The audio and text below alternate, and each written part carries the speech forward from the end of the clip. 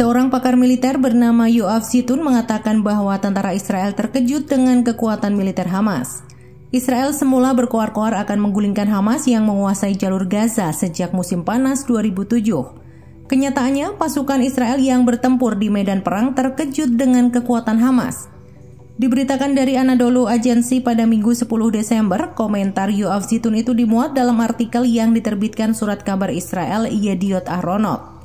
Dalam artikel itu, Zitun mengatakan tentara Israel menyadari bahwa melenyapkan Hamas di jalur Gaza akan memakan waktu berbulan-bulan. Kemampuan militer gerakan Hamas menegaskan bagaimana mereka telah melawan pendudukan Israel di Palestina selama beberapa dekade. Soal kemampuan Hamas, Zitun mengatakan mereka memiliki ratusan ribu senjata, termasuk berbagai jenis peluru RPG sebagai senjata utama.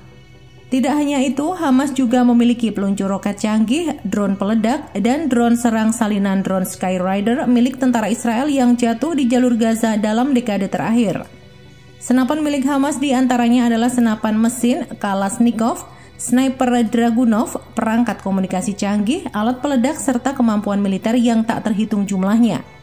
Oleh karena itu, Zitun mengatakan pertempuran sengit di Beit Hanun menjadi indikasi bahwa membersihkan Gaza dari Hamas akan memakan waktu berbulan-bulan. Sementara Amerika Serikat sebenarnya telah memberikan tenggat waktu kepada Israel untuk mengakhiri perang di Gaza pada akhir Desember atau Januari. Namun pernyataan Zitun soal tenggat waktu perang itu telah dibantah Washington pada hari Jumat 8 Desember.